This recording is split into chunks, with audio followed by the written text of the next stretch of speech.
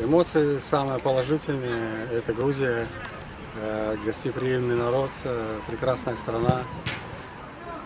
Турнир провели хорошо, все, все нас устроило, молодцы, атмосфера была великолепная. За счет слаженных действий, командной игры, ну и, наверное, наверное, хотели победить больше всех, поэтому победили.